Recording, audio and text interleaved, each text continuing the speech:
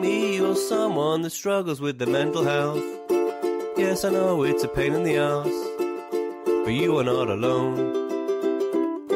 As you'll see from this podcast. Hello, my name's James, and thank you so much for checking out my podcast, Dad Mind Matters, helping men to safely navigate family life without losing their minds. I set up this channel in 2022 because I really want to support parents, specifically dads, and I suppose specifically dads like myself who often struggle with mental health. If that sounds like something you'd like to support, please follow my podcast. And if having listened to a podcast, you really want to support me, leaving a review makes a massive difference.